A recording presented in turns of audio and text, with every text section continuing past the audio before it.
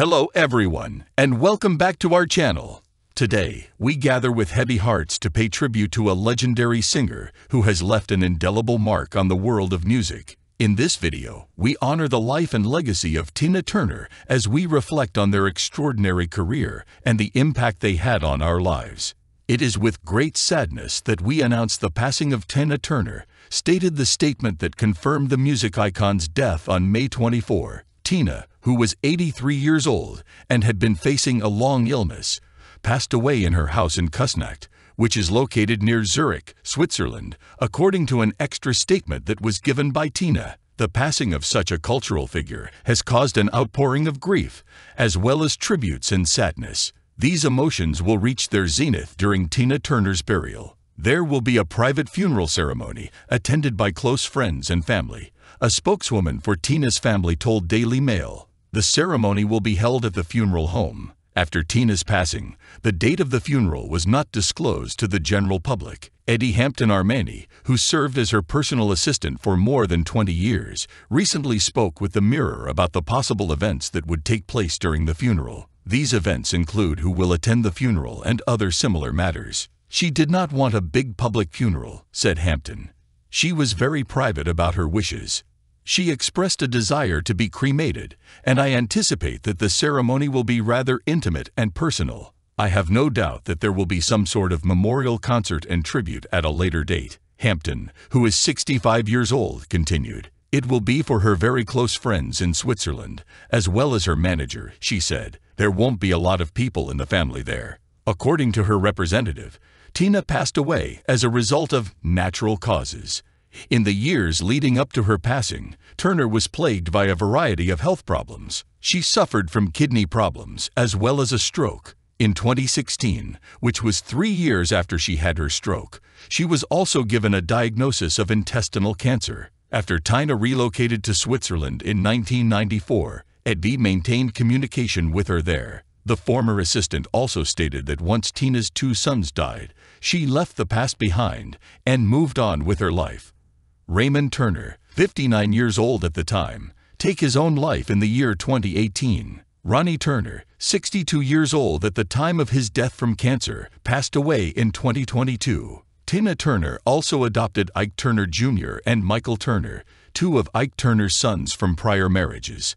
However, after Tina moved to Switzerland, she had very little contact with Ike Turner Jr. and Michael Turner. We were each other's best pals, Eddie said on the morning show. She was my role model, my heroine, my teacher, and my aunt. I won't say my mother because that would make her angry, I said. Tina is largely responsible for me knowing much of the things I do today. In addition to this, she did not hold your hand or coddle you in any way. It was your responsibility to listen and take in what she had to say in order to fully comprehend what it was that she was trying to convey to you, and I was able to do it. Tina Turner reportedly passed away as a result of natural causes, despite the fact that she had been battling a variety of health difficulties throughout the course of her life, including a stroke and renal disease. In 2016, she was given a diagnosis of cancer of the digestive tract. Stephen Sills, one of Turner's closest friends, recently gave an interview to People in which he stated that Turner had no fear of death and was prepared to pass away at any moment. Two years ago, she informed me, she said, Stephen, I'm ready to go anytime. I don't have a morbid fear of dying. My final years on earth have been some of the best of my life. It's been fun, but I'm worn out, he said to himself. The ceremony will not be open to the public. According to a spokeswoman for the family, there will be a private funeral ceremony attended by close friends and family, and this information was shared with the media, attendees or guests who are present. The interview was conducted with Eddie Hampton Armani, who has served as Turner's personal assistant for more than 20 years. She did not want a big public funeral, he stated. She was not a religious person. The funeral service will be held in private, with only immediate family members and close friends in attendance.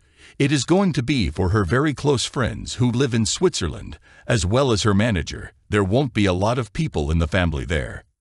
We have witnessed tributes from Oprah Winfrey and King Charles, and Beyoncé has even given a live performance of River Deep, Mountain High, which is one of her most successful songs to date. However, Over the course of the last several days, the death of the superstar has resurrected the old wounds that her family has worked so hard to try and mend. Although the best singer experienced the heartbreaking death of both of her biological sons, Craig Turner and Ronnie Turner, prior to her own mortality, she is survived by both of her adoptive sons, Ike Turner Jr. and Michael Turner. In addition, we are able to report that she is survived by two grandkids and five great-grandchildren, the majority of whom she was unable to meet in her lifetime. According to sources within the family who spoke to Page Six, many members of the family were unaware that she was battling a life-threatening illness, which has left them in a state of disbelief following her passing. Twana Turner, Tina's daughter from her first marriage to Ike Turner, expressed her opinion that it's time to mend because the family has been through so much, and because they are still going through so much, they really want to recover, and they need to. There will never be another Ike and Tina since these two powerhouses were such an entity in their own right. Tina spent the last few decades of her life in Switzerland with her second husband, Erwin Bach, at their estate known as Villa Algonquin, which has a price tag of 76 million Swiss francs, $76 million. The queen of rock and roll had two children of a biological relationship. Tina was only 18 years old when she gave birth to her first child, a son named Craig, whom she had with Raymond Hill, a member of Ike Turner's supporting group. After that, she tied the knot with Ike, who ended up adopting Craig, and the newlyweds went on to have their son Ronnie. She, in turn, became the adoptive mother of Ike Jr. and Michael, whose biological mother was Lorraine Taylor, Ike's first wife. 1978 saw the end of Ike and Tina's notoriously difficult marriage, which ended in divorce. She had a very limited relationship with her son Ronnie's children, Raquel and Randy, and she never had the opportunity to get to know Raquel's two little sons, Tyson and Tyrese. We are told that coming to terms with the death of their father has been difficult for both Raquel and Randy, and that they are still working on it. On the other hand, rumors have it that Raquel possesses a beautiful singing voice. Tiffany Turner Dukes is Michael's daughter, although neither Craig nor Ike Jr. were able to have children of their own. Turner Dukes and her husband have been blessed with the birth of three children, a daughter named Marley and two sons named Amari and Gianni. In addition to being the jewelry designer and an advocate for autistic children, Tiffany is the founder of a nonprofit organization that combats bullying. She is also a music producer, and earlier this year she posted on her Instagram account about the convoluted history of her family, writing something to the effect of growing up with a painful childhood along with a famous bloodline is not for the faint. Over the course of my lifetime, I have been able to break many generational curses, and I am still doing so even as I type this. Although Tina's three great-grandchildren through Michael have never met their rock star great-grandmother, they have all inherited Michael's musical talent and are talented musicians in their own right. Twana Turner, who gave an interview to Page Six, is Ike's daughter from his relationship with Tina's friend Pat Richard from their time together in high school. Richard and Tina both went to the same high school in St. Louis, Tennessee, which was called Sumner High School. At the time, Tina was known by her birth name, Anna Mae Bullock. They would spend time together by going to see Ike play in the local club. Twana, who is 63 years old, stated that the family was left in shambles after Tina passed away following a string of health challenges, including kidney disease. Because the event took place so unexpectedly, no one had heard from Tina in quite some time. However, her passing brought to light all of the headlines that discussed her marriage to Ike. The singer detailed the behavior of her partner during their 20-year relationship in her best-selling autobiography, I, Tina, which was published in 1986. She described how she had suffered burns of the third degree after having hot coffee thrown in her face, as well as how she had her nose smashed so frequently that it caused blood to leak down her throat whenever she sang. She said that the incident occurred when she was performing. She claimed that they led to nightmares that followed her for a significant portion of her life and that they were the cause of her attempt at taking her own life. She alleged that Ike forced her to watch a live display in a brothel on the night of their wedding in Tijuana, Mexico, and that he did this by taking her there. In the movie What's Love Got to Do with It? from 1993, the marriage was dramatized for the big screen, and Angela Bassett gave a performance as Tina that was nominated for an Academy Award. Ike was portrayed by Laurence Fishburne. It has been very difficult for the family to discuss the past, as seen by a post that Tina's granddaughter Tiffany, who is 40 years old, made on social media after her grandmother's passing. Rest in freedom. Ronnie and Uncle Craig are eagerly awaiting your arrival. Tiffany, however, responded to the trolls by saying the following. People who only know one side of a sold story will forever have one way to see it. I don't give a damn about what you think you know. You don't know ST if you ain't my bloodline. She went on to say that having renowned grandparents with a narrative like theirs was the most difficult thing for her to deal with.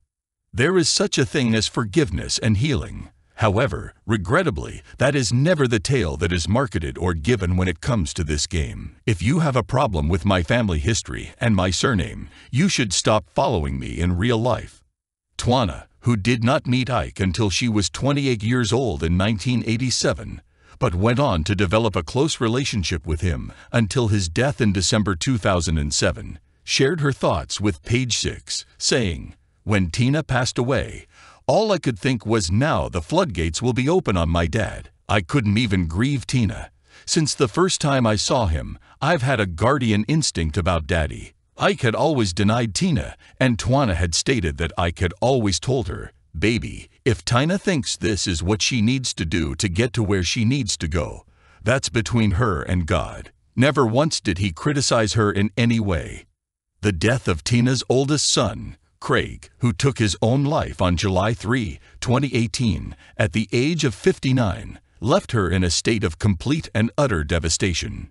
His previous struggles with substance are well documented. At a later point in the same month, she posted the following on Twitter My saddest experience as a mother. On the evening of Thursday, July 19, 2018, I gathered with my family and friends to disperse my son Craig Raymond Turner's ashes off the coast of California. It was the last time I would see or speak to him. Even though he was 59 years old when he passed away in such a horrible way, he will always be my baby.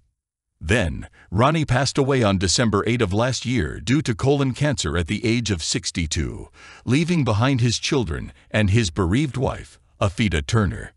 After complaining to a neighbor in Studio City that he was having trouble breathing, he tried to drive himself to the hospital but passed out beside his vehicle on the way there. According to people close to the family, Tina was unable to attend his funeral in Los Angeles.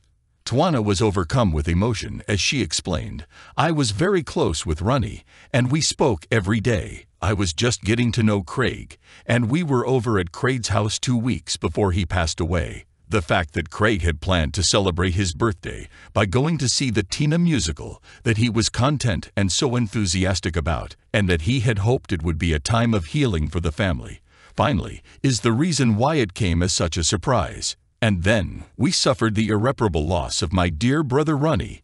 When he called a family friend who was meant to accompany him to the clinic that morning, he informed her, My chest really hurts. It's hard to breathe. She encouraged him to stay there because she was on her way, but he didn't listen to her advice. He ended up going to the doctor alone. When he passed out on the pavement, he was on his way to his car at the time.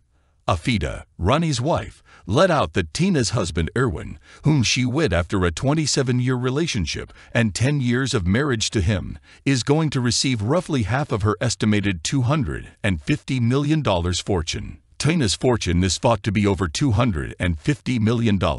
Bach, who is 67 years old, was by the star's side when she suffered a stroke shortly after their wedding, and he donated one of his kidneys to her in 2017 when she required a transplant.